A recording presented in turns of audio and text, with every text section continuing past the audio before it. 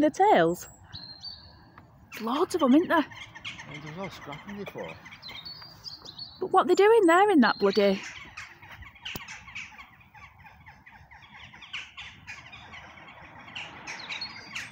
There's something in there, isn't there? Yeah. I wonder if the nest has fell in or something.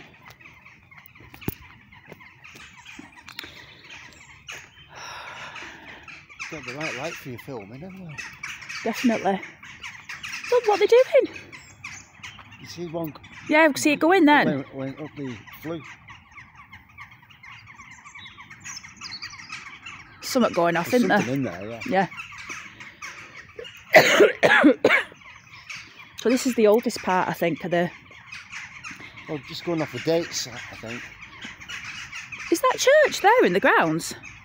It's not in the grounds, no. Oh. Must be where the old service is though, mustn't it? And then...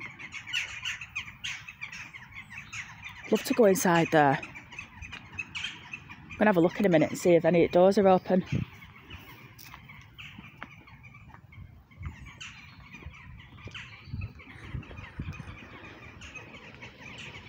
There he is. All the spaces are eroded. Still see it though, can't you?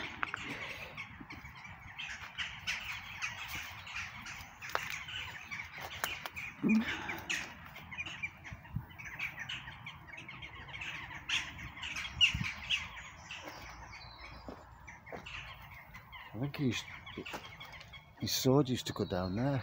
Yeah, it looks like they took it off or something, doesn't it? He used to go down there. Oh, someone broke it off. It's been broken off, yeah. It's tight, isn't it? Who is he? Lieutenant John Sutcliffe. Something Chesterfield, Oldham. Um, it's all worn, hasn't it? yeah. It's a shame that. Probably needs picking out with gold like that. Yeah, yeah. Well, I think that the Elsie Sutcliffe, Hannah Sutcliffe, that must be.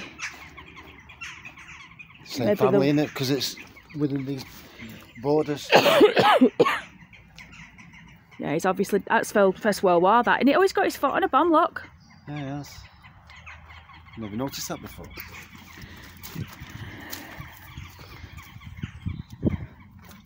I expected them to be older graves here for some reason, but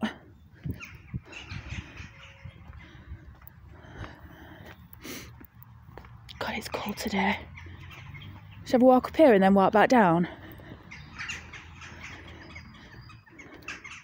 John Lees.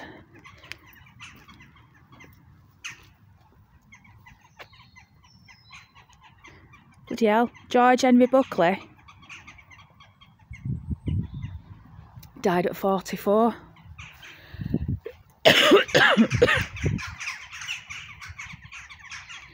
Another one here, look. Private William Carr. Manchester Regiment. presumed to have died.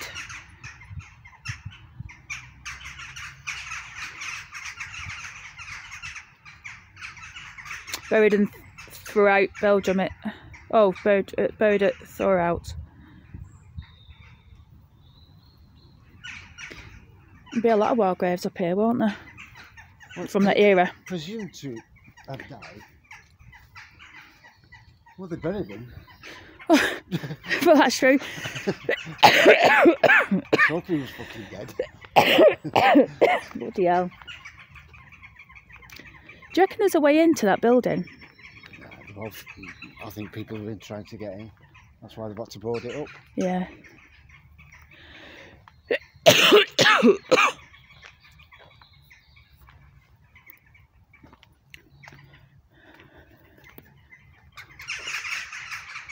Still going out there.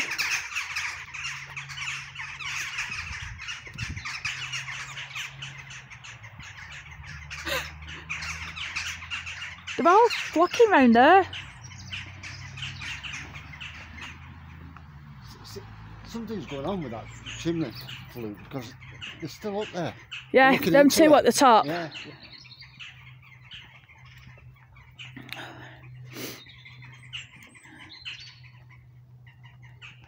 Not much up here, is there?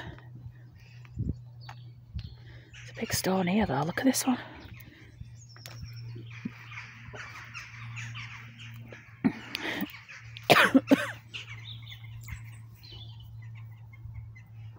Taylor. Must have had a bit of money, these people, to have these big monuments. I mean, Well, yeah, because in the open spaces over there where there aren't any gravestones, it's definitely a graveyard.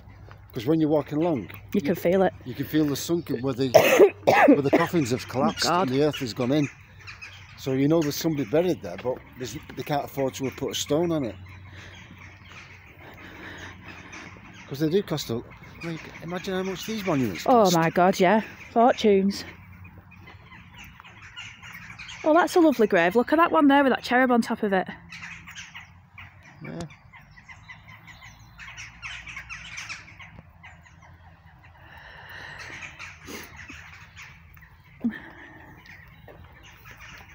I mean, pe- people say, "Oh, it's it's morbid looking through these," but this is the whole purpose of a headstone.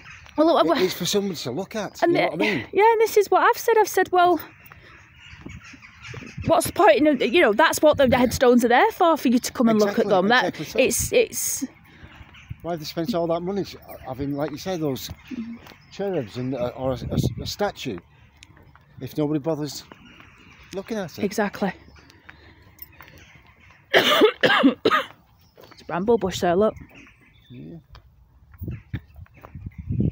Bet it's you know obviously there's no leaves on the trees now, is it? Because it's that bloody cold. But um, I bet this area, the in the summer, I bet it's stunning in this area. Yeah, yeah.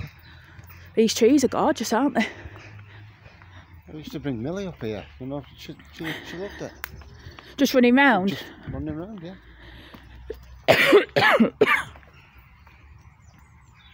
Never been up this end of the of the cemetery before. See, like all, all, all that area there. Do you reckon that's got The, the, burials? yeah, of course they have. There's a look. at There's a lone wog stone there.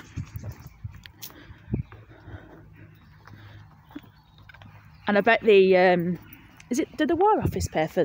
Would the sorry, not the War Office. Would the government have paid for the headstones? Because they're all typical them soldier ones, aren't they? They're all the same. It's the War Grave, um, War, British War Graves Commission. I So that's why that. So oh, he could have been buried here, but they've put that in sort of. Yeah, and and they are tasked with the upkeep of them. You know, like mowing the Oh. and making sure they're in, in good order. Loyal North Lancs Regiment, August 8, 1918. Bloody hell, 100 years ago. You know, it's crazy that, isn't it? And you think about it, 100 years. You know, there's a couple of months to go before the end of the war. What, that fella? Ended in November, didn't it? Yeah. There's a few like that um, on that other video I did when I came up with my mum. And there was one, literally, I think, I think he died the month the war finished. Yeah. literally just you know almost saw it out and then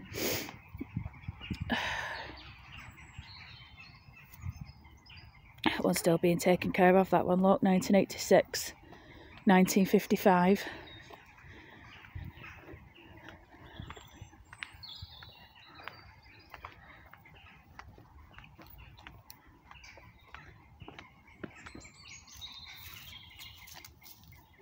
So, see, these little things. right oh is that what they they leave Yeah, and it, we've noticed that quite a few of them around here. And, uh, what just stones no, stones and, and little little. I'll, I'll see if there's any more. But I looked into it, and it's so, something to do with like um, not witchcraft, but like like paganism. You know, like to, sprites and paganism for what I can't remember. like offerings and things yeah, yeah. Why would you come in a churchyard and start doing pagan um, Yeah. rituals though There's another one there. oh there's another one yeah Oh, was it the, the foot of trees?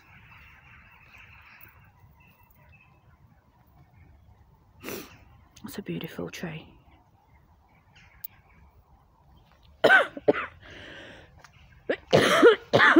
oh, sorry about the coughing.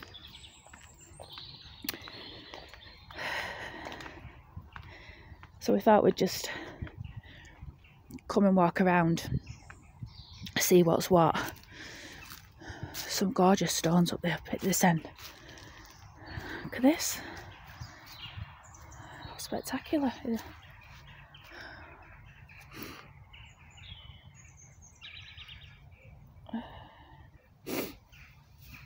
Mary Ann, the second and beloved wife of James Hardcastle, who died April 25th, 1879. She was 56. Have you seen that stone, Simon? Yeah. It fantastic, that?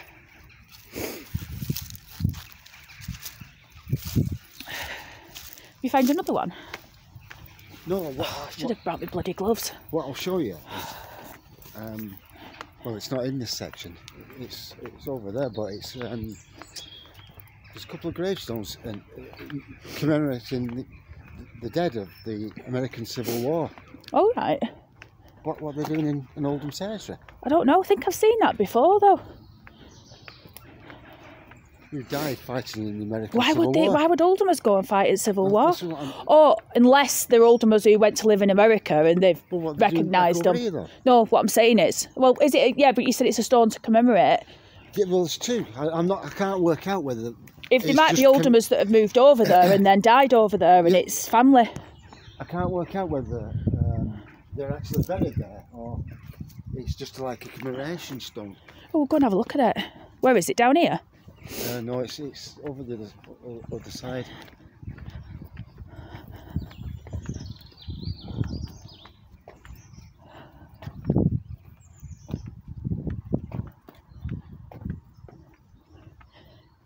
Think they've moved that one?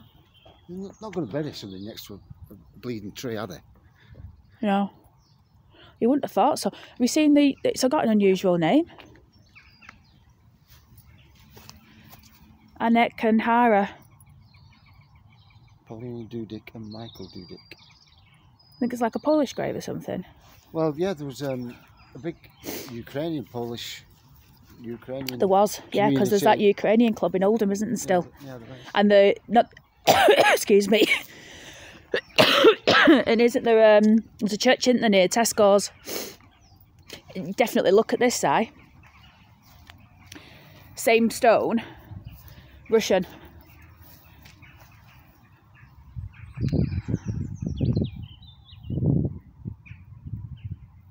We'll have to see if Amy can tell us what that says. Assuming it's the same language, of course, but. Yeah, they speak Russian, don't they, Ukrainians? Don't know. Yeah, I think so. Oh, well, man. Fucking hell.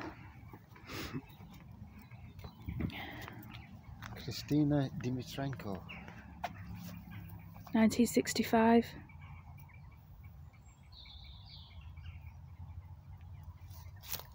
Look, someone's look at it, she died in 1965. Someone's come up. They're still looking after it, aren't they? Yeah. Probably, you know, in the summer you come back, won't you, and sort it out.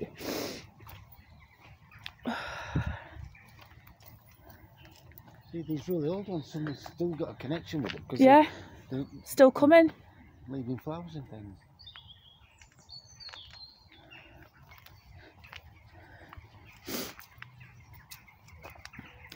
I think we need to get a movement going. Adopt a grave, you know, where you encourage people to come out and adopt a grave for someone and look after it.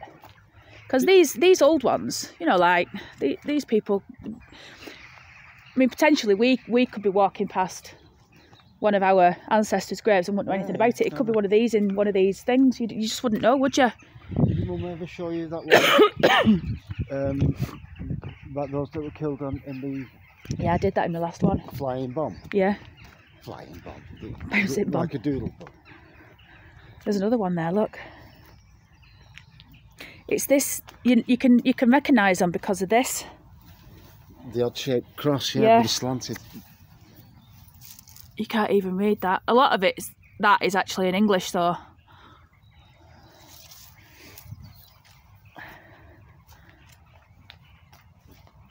Oh, excuse me.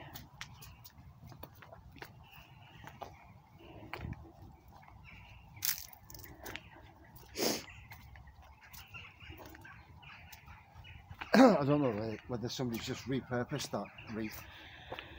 After, after Christmas, they thought, well, instead of throwing it all, Looks like it, doesn't it? just stick it on a grave somewhere.